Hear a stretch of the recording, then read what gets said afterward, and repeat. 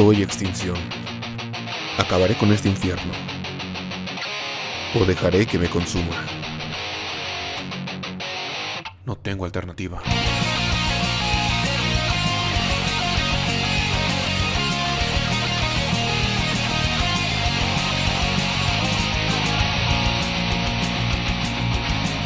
Han pasado meses desde que sucedió lo que llamaron el fin de las reglas.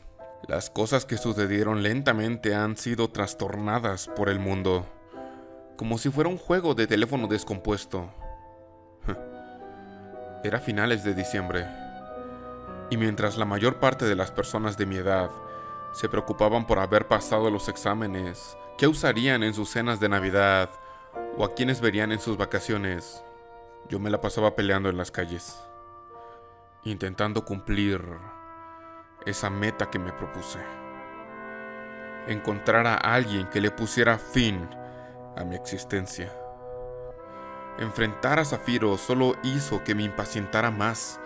Me desesperaba el hecho de que vagamente me sentí satisfecho enfrentando al líder gótico. ¡Concéntrate, idiota! ¿O ya se te olvidó cuánto daño puedo darte con esta cosa? Entonces pelea en serio y déjate de tonterías. No solo debía de cuidarme de Hunters y de todas las cosas de este infierno, sino que de igual forma tenía que lidiar con Seth y esta apuesta nuestra. Por más que empatáramos, nadie cedía. Nuestro orgullo era así. Quizá eran nuestras ganas de competir, o quizá era nuestra única forma de convivir, pero seguíamos peleando y compitiendo. A veces creo que esto tenía que ver más con mis ganas de morir. ¿Y si todo esto no era más que un capricho mío? ¿Y si solamente estaba en este infierno llevándome a los extremos porque me aterraba ese mundo que me abandonó? Aquí lentamente empezaba a ser alguien, a ser temido, y la gente de mi clan me buscaba cuando se necesitaba de alguien que sí pudiera hacer las cosas sin miedo. Sea ir de edificio en edificio, enfrentar personas sin titubear o simplemente estar presente para ser un deterrente en alguna negociación, era alguien. Allá en ese mundo normal, no era más que el niño Down, el miedoso que todos podían manipular. Supongo que me supongo que me aterraba la idea de ese mundo debido a los recuerdos que me dio cuando tuve cuando estuve ahí. Aquí me sentiré solo. Me acosarán mis recuerdos y la incertidumbre de no saber si este será mi último día vivo siempre estarán presentes, pero aquí tenía poder. Aquí viviendo en situaciones extremas no era feliz, pero de alguna forma encajaba en todo el caos del día a día. Al menos sentía que aquí era útil para mi grupo. Tienes demasiada energía. Y tú eres demasiado terco. ¿No deberías de estar celebrando Navidad? Lo mismo digo. Lo mismo digo. Aparte aún es temprano. Sigamos entrenando extinción. No me digas que con esta fuerza le ganaste a Zafiro. No. Según la historia nueva, Insanity y yo no tuvimos ningún problema en pelear, pero la verdad estuvimos a punto de morir en más de una ocasión. Si hubiéramos estado solos, ninguno de los dos hubiera salido vivo de esa pelea. No volvimos a saber de Zafiro. Limpieza se encargó de hacer anónimas muchas cosas, y Mordecai no me decía mucho. Pero si son no más que Goku y Vegeta juntos, ¿que no hay un día en que ustedes dos no quieran pelear? Volteamos. Era Kaeder y Mort. Era extraño ver esos dos juntos en una misión. Casi Mort siempre estaba encargándose de las comunicaciones y los informes a los demás. Insanity te quiere ver, Extinción. Ya pueden salir. Mort habló al aire. Ya lo habíamos notado, Seth y yo. Por eso no estábamos peleando en serio, la verdad. Era para guardar energías ante la emboscada de los ponquetos que nos estaban espiando. Estábamos muy adentro de nuestro territorio, pero esto ya no era raro. Ahora con los territorios Dark y Punk chocando, eran más comunes las emboscadas de ambos bandos. ¿Cómo? ¿Cómo sabían que estábamos escondidos? Nunca has sido bueno escondiéndote, anarquía. Como si tu moicano fuera algo discreto. ¡Cállate! Y enfréntame. No. Siempre me huyes, maldita sea. ¿Acaso me tienes miedo? Gritas demasiado. ¿Miedo? No. Te tengo lástima. ¿Por eso vinieron aquí ustedes dos? Ahora eres un blanco importante, Extinción. No serás un cabecilla y Seth tampoco, pero se están volviendo peces muy gordos. Si están escondidos estos cinco, es probable que haya más. Ya vete, Seth. Tú descansa. Anarquía intentó correr hacia mí, pero Mort lo detuvo y lo dejó en el piso. Anarquía tuvo que rodar para tomar su distancia, y mientras los demás ponquetos se acercaban a los tres, yo me iba por la parte trasera del grupo de edificios. Por más aprendiz que fuera de Mordecai, las órdenes de Kaeder al ser un cabecilla eran más importantes que cualquier otra cosa y tenía que hacerles caso. No tardé mucho en encontrar a Insanity. Ya me había dicho dónde estaba con mensaje. Aún existían los smartphones y cosas como el WhatsApp no se habían inventado, así que teníamos que recurrir a los mensajes de texto clásicos. Llegué. Era un parque escondido por un complejo de casas que parecían vecindades. Eran las 6 de la tarde cuando nos vimos. Apenas me vio, Insanity habló, como siempre, sonriendo. ¡Oh, extinción! Te tengo una sorpresa, pero está en... ¿En esta parte? Eran cuatro góticos y tres cazadores, cerca de unos columpios. Me sorprendió que no los hubiéramos detectado. A diferencia del idiota de hace rato, estos eran buenos escondiéndose. Uno de los góticos tenía una caja y mientras se acercaban, Insanity habló. Oh, descubriste el secreto de los columpios. no te recomiendo hacerle nada a esa caja si valoras tu vida. Nos empezaban a rodear. Por su pinta no eran muy conocidas estas personas que me estaban emboscando. Lo más probable es que fueran sujetos intentando hacerse un nombre matándonos. ¿Por qué? ¿Tiene información importante? Este es un lugar algo escondido para dar sorpresas. ¿Será acaso información confidencial? No. Ahora dame la caja. ¿O qué nos van a hacer? ¿Somos más que ustedes? Porque eso fue de mucha ayuda cuando los eliminamos. Dame la caja. Ha de ser algo delicado. Me pregunto, ¿qué pasará si...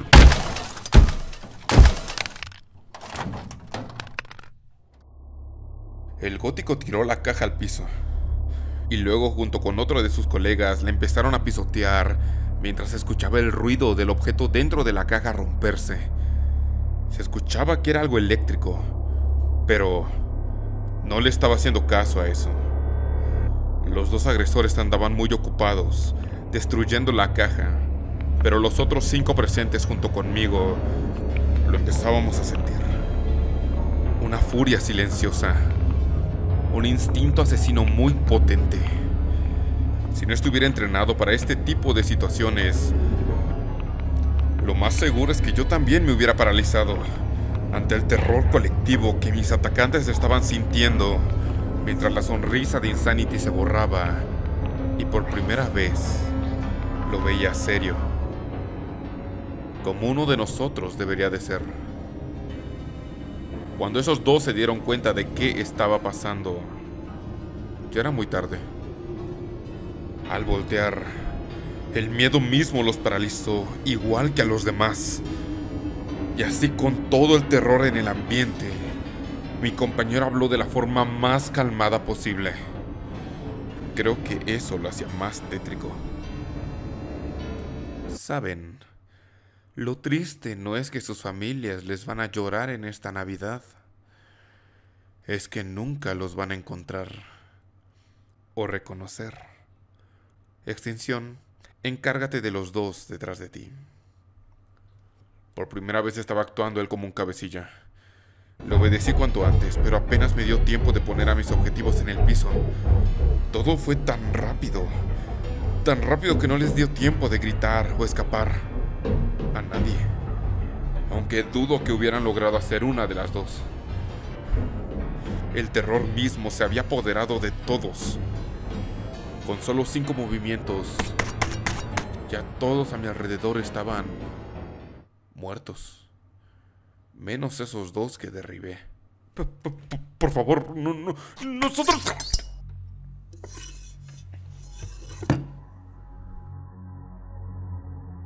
Insanity comenzó a caminar hacia la caja. Idiotas. Estaba destruida. Estaba completamente destruida. Mientras empezaba a sentir una enorme tristeza inundar el ambiente. Esta tristeza ya la había sentido antes, cuando me contó de su pasado y el por qué estaba aquí. Recogió la caja.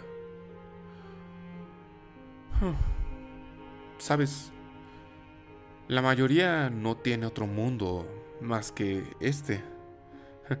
Thanatos no le habla a sus padres desde que llegó aquí. Mordecai tiene un hermano, pero igual lo aleja. Dark Poem se esconderá como cada Navidad en uno de los cuartos del cuartel y llorará recordando al idiota que la destrozó. La mayoría de los Dark se queda en el cuartel intenta celebrar estas fechas juntos. No hay sonrisas, no hay abrazos, pero al menos hay compañía y el sentimiento de saber que a pesar de estar condenados, al menos no somos los únicos que sufren. No estamos solos, extinción. O bueno, eso pienso. La caja estaba rota, así que la terminó de romper, revelando una caja más pequeña, igual de destruida. Pero reconocía yo que era. Era un Nintendo DS. Mi hermano era mi mundo. Sin él, terminé aquí. Terminé aquí. Me contaste de un juego que te rompieron. Es horrible, ¿verdad?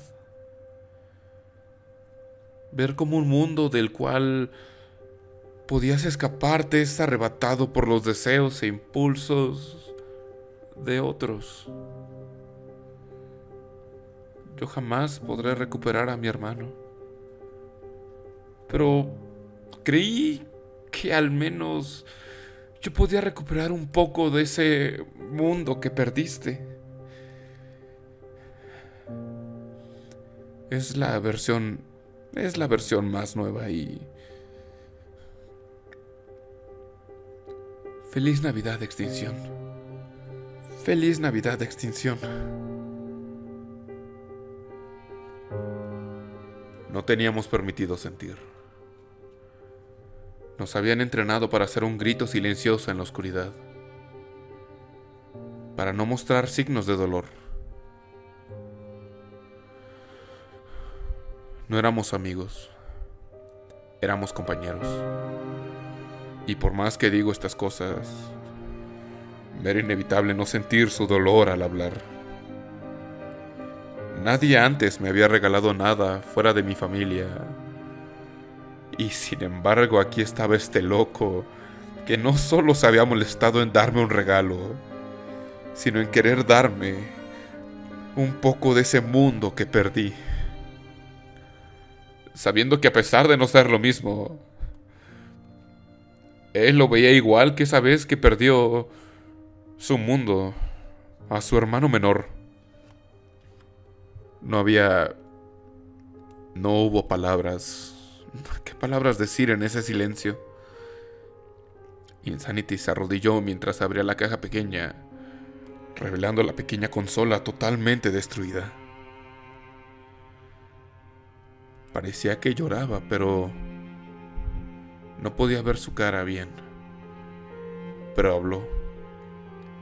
Tú aún tienes familia, ¿no? Aunque no hables con ellos, ve. Aunque no sonrías, Disfruta de cada momento. No sabes en qué momento solo te quedan esos recuerdos. Recuerdos que nunca, nunca se van. No había palabras que pudiera decir ante ese comentario. Si acaso me sentía un malagradecido con mis padres y mi hermano. Pero aún era muy joven y muy terco como para entender que este era Omar dándome razones para salir de ese infierno. Quizá sí entendía las razones, pero seguía muy aterrado de salir de este lugar. Y yo era demasiado orgulloso como para ver las cosas frente a mí. Caminé hacia él. Él aventaba la caja y seguía sobre el piso. Le dije lo primero que se me vino a la mente. No lo pensé. Solo hablé esperando haber elegido el mejor enunciado posible, sin saber qué efecto tendría en él mis palabras.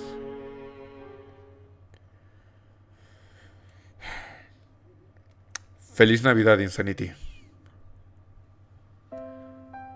Se detuvo un momento y alzó la cara mientras lentamente Volví a sonreír con algo de sorpresa en sus ojos, como si acabara de decir algo que nunca esperaba escuchar de mi parte en algún momento. Continué, serio como siempre, sin mostrar emoción, solo esperando que mis palabras pudieran ayudarlo. Mm, quizá luego pueda Quizá luego pueda comprarme la versión perla. Y otro ese. Sigues al pendiente de eso, ¿eh? ¿Elegirás a Benazor? Esa es otra generación. Ahora estarán Chimchar, Piplop y Tortwig. no entiendo absolutamente nada de lo que dices. Mientras caminábamos hablábamos de la posibilidad de volver a ser emboscados, saliendo del parque. Bueno, entonces, antes de que te vayas, si nos emboscan, divirtámonos un poco más. No hará más falta, Insanity. Era Mordecai. Estaba con Thanatos. Vine porque te tengo otra misión extinción. Quédate en tu casa y no vuelvas hasta el 2 de enero. Pero es una orden. ¿Y por qué, Tana, eso no te importa, novato? Hace años que no sé de nadie fuera de este infierno. Entendí perfectamente ese susurro. Con nosotros tres en esta zona atraeremos la atención, ¿vale? Vete. ¡Ya! No sabía por qué lo hacían. Pero me fui del lugar a regañadientes. No entendí en estas épocas esa orden. Se me hacía ridícula. A pesar de lo que acababa de ver con Insanity, seguía de terco ante mi meta. Pero ahora que lo recuerdo, ahora que lo recuerdo, le agradezco mucho a esos tres esa orden. Insanity por ser mi compañero, Mordecai mi maestro, y a pesar de no llevarnos bien en ese entonces, igual a Thanatos. Porque de alguna forma los dos sabíamos del parecido de nuestros pasados, a pesar de no saber directamente de estos. Llegué a casa, para la sorpresa de mi familia. Me obligaron a cambiarme de mi atuendo a ropa más de la temporada y así atendí esta Navidad y Año Nuevo.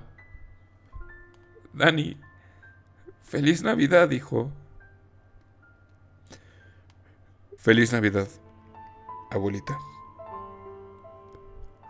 Aún recuerdo los abrazos de mi familia y cómo a pesar de estar decepcionados del camino que tomé, mis padres me seguían queriendo a pesar de todo. Para ellos, yo no era un monstruo, Siempre sería ese pequeño hiperactivo de siempre. Mi búsqueda por mi final seguiría el siguiente año. Yo solo les pedía perdón por las cosas que iba a hacer para encontrar mi final. Pero en estas épocas, en estos días, me la pasaría intentando comprender el por qué mi maestro y líder me habían dado esta orden. Meditando solo en mi habitación cuando no hubiera celebraciones. Había acabado la primera mitad de mi segundo año en la secundaria. Las cosas estaban por ponerse más intensas, acercándose el final de ese ciclo.